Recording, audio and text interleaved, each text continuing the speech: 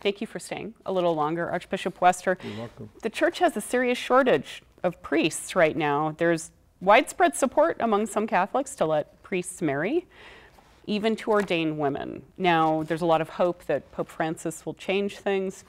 Do you anticipate anything changing along those lines to address the shortage in ministry?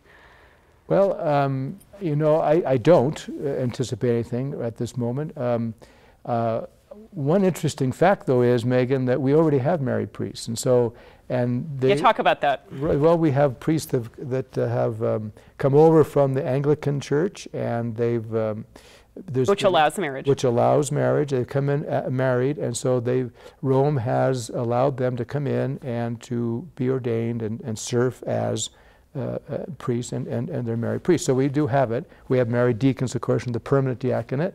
Uh, the Pope has, as you know, begun a commission to study uh, women deacons, which we've had in the very early church. So this and explain what deacons do for people who aren't sure. familiar with A deacon is someone who is ordained, and there's three parts of holy orders, deacon, priest, and bishop. So a deacon would be the first of those, and, and typically you might say it's an ordained ministry of service.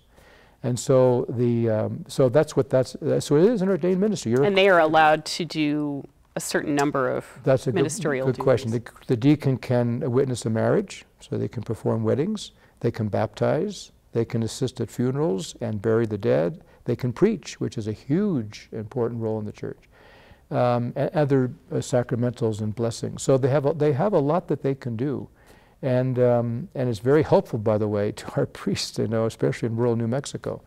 So uh, it's a wonderful thing. I don't know where that's going to go. Clearly, the Pope wants this to be looked at. You know, could we move toward that? I don't know.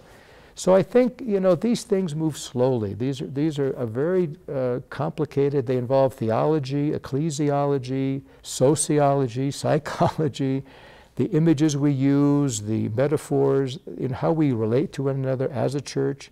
All these questions have to be studied. So it's not not easy, but certainly could there be married priests? Yes, there could be. You know that could happen. You know, so we have to wait and see. From a theological point of view, that would be uh, more of a disciplinary issue. I think ordaining women priests would be more of a theological issue that theologians are taken up.